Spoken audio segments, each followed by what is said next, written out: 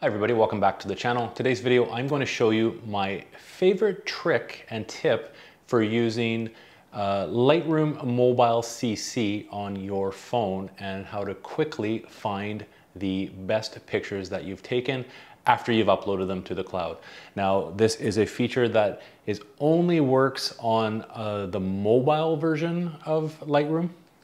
So you will have to have mobile downloaded on your mobile phone. It doesn't have this feature on the web version of Lightroom CC or on the iPad version of Lightroom CC for some reason. So unfortunately, you will have to use it on your mobile phone, but I will show you how to access this feature in this video. And then once it is selected, I'll give you a little tip on how you can kind of a little bit of a workaround to use the results of this in finding your best photos, to use these results in the other versions of Lightroom, like on your desktop, uh, Lightroom CC, or on your iPad. So let's jump in and I will show you my favorite feature on Lightroom. Okay, here's my secret hidden feature for Lightroom. So what you actually want to do is go into your settings on Lightroom. Now you will need to have a, a Wi-Fi connection for this or a data connection for this in order for it to work.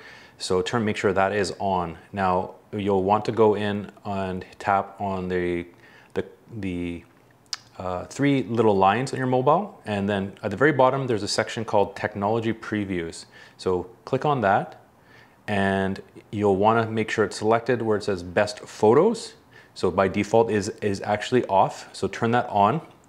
And then what that will do is as you have photos in your library, if you've created, created folders, and it will actually, this is very handy when you're taking uh, a lot of photos in one day and you're editing, going through and you've, you know, you've got multiple photos of one, of one uh, subject. And this is kind of a fast way to get through. And so what you do is you click best photos. It uses its machine kind of algorithms to, to find the best photos in your album. And it will, it takes a little few seconds to actually analyze them all. It will depend on the size of your folder that you have all your images in. Uh, it will go through them though, and it will give you the best photos based from these tech previews. So of these photos, of the 1397 I had in this folder, it's giving me, it's gonna take, it's more gonna pop up, but it's giving me about 100, 200, close to 200 photos. And it actually goes through and gives you um, this, the option. It's pulled all the, of what it thinks are the best photos. It does a pretty good job.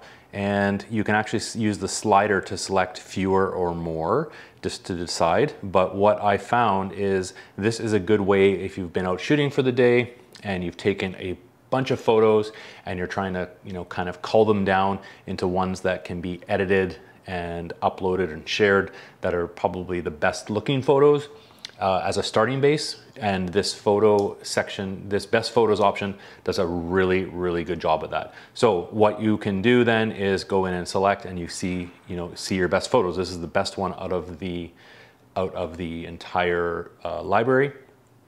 And now this feature only does work on the mobile. So what I find is you go in and if you want to access these photos on the other, you know, on your other system, uh, Lightroom, like on your desktop or on iPad, is you go to rate and review and make the selection. So something you will know. So then when you go into your other, because it all is all cloud-based, when you go into your other Lightroom on your computer or on your iPad, you can, you can then select in Lightroom your picked photos, uh, flagged photos, and it will have them all there for you. So you can have them all in one, one place because the best photos feature is only available on the mobile version.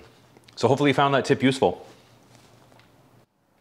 Hopefully you found that useful. Thanks for joining me. If you are new to the channel and you enjoyed the video, please consider subscribing, but also give me a thumbs up. Lets me know that you liked these videos and like these kind of tips.